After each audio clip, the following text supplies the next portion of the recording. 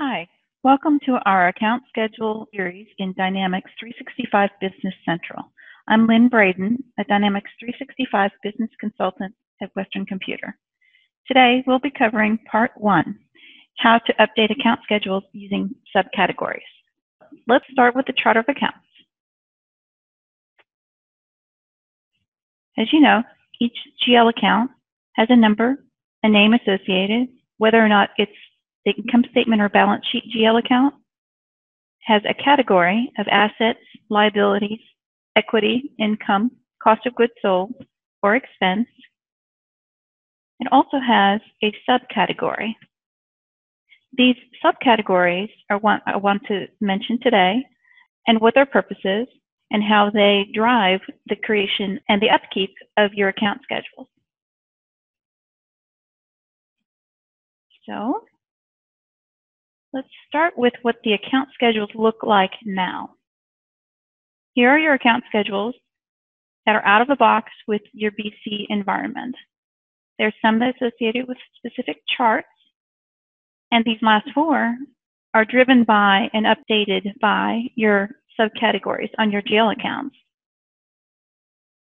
So I go into one to edit it you'll get an error message saying this account schedule may be automatically updated by the system, so any changes you make may be lost. Do you want to make a copy? And this is just stating this because it is driven by the subcategories, and so if you edit it, it may mess things up a little bit. So I'm going to say no. This is how the structure is built, and in past versions of NAV, let's say you had to, or you did update your GL accounts, you added a few. You would have to come into these account schedules and manually either add them to one of your total lines here, your new GL accounts, or possibly you'd have to go in here and create a new line with a different name, well, different number, name, and add your GL accounts in here.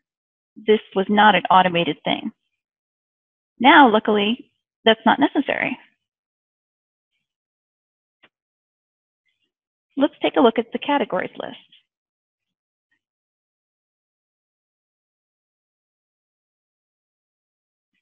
Now here's the full list of every single GL account subcategory. There's a couple things to mention on this page. There's these two boxes over here. One, GL accounts in the category, which is if you highlight a line, you can see which GL accounts make up that line. Here's another one. Here's the same. You get the idea. This box down here, GL accounts without a category, gives you an idea if there's any GL accounts that are missing a subcategory. So in other words, would not show up on your account schedules. So if you notice, there's four here that are WIP accounts, so how do we fix that? First off, I think I would like to add a line here. First, we have to edit the list. Come in here, click New, and have it a name, call it WIP. And then we need to assign the GL accounts to this subcategory line. So you can manually type in the GL accounts here or arrange using two dots in between. And if you notice that took the two out of this box because now they've been assigned. There's another way to assign your subcategories to your GL accounts. Let's go back your chart of accounts. And if you notice, here's the two GL accounts that do not have a subcategory associated with it. So all you do is open it up, search on the list, click on the subcategory, and if you'd like, let's use the toggle to move to the next GL account. Assign that subcategory and then we're done. Let's go back to our categories list.